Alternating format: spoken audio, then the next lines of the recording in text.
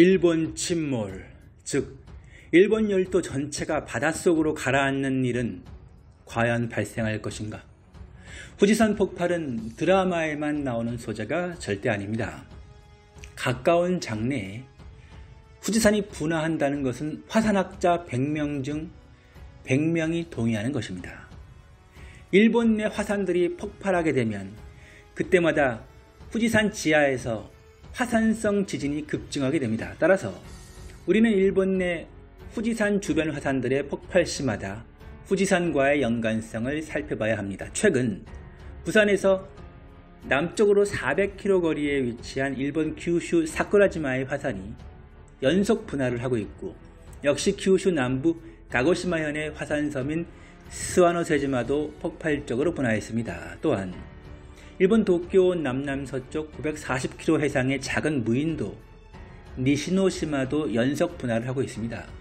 또한 후지산 화산 활동이 최근 활발해졌다는 주장들이 화산 학자들에게서 나오고 있고 오늘은 일본 신문 칼럼에서는 후지산의 산체 팽창에 대한 경고가 있었습니다.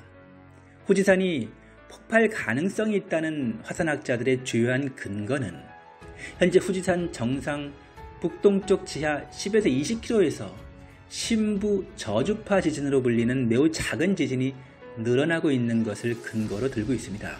또한 최근 후지산 정상에서 50km도 떨어지지 않은 지점에서 지진이 일어났고 최근 규모 5 이상의 강한 지진이 빈번하게 발생하고 있다는 것입니다. 후지산은 지난 1200년 동안 11번, 100년에 한 번꼴로 폭발했습니다. 이 직전 마지막 폭발은 300년 전인 1707년입니다. 화산은 나이가 들수록 마그마의 가스를 가둬두면서 끈적끈적한 점성이 높아지고 이로 인해 내부에 강력한 힘이 축적돼 폭발하게 되며 이 때문에 후지산이 폭발할 경우 내부에 응축된 힘이 대폭발로 이어질 수 있다는 게 전문가들의 중론입니다. 다행인 것은 지금은 여름이 아니고 초겨울이기에 편서풍이 불기에 바람의 방향이 편서풍 즉 서에서 동으로 불기에 큐슈와 후지산이 폭발을 한다고 하여도 한반도에 악영향을 직접적으로 미치지는 않겠지만 이 과거에 일본에서 화산이 폭발을 하였을 때 화산재가 경상남도 합 천 지역에까지 날아온 경우가 있었습니다.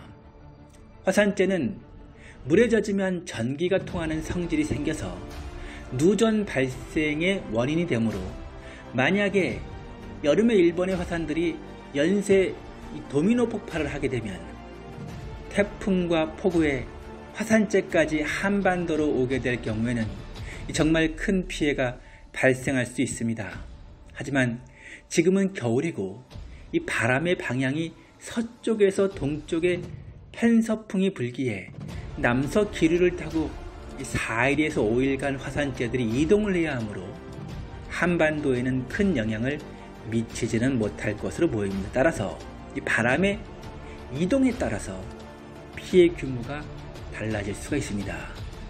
만약 후지산이 폭발을 한다면 화산재의 많은 부분이 이 동편으로 이동할 가능성이 높지만 그럼에도 불구하고 이 난류의 난류 현상으로 인하여 한국도 이 피해 영향권 안으로 들어올 수도 있습니다.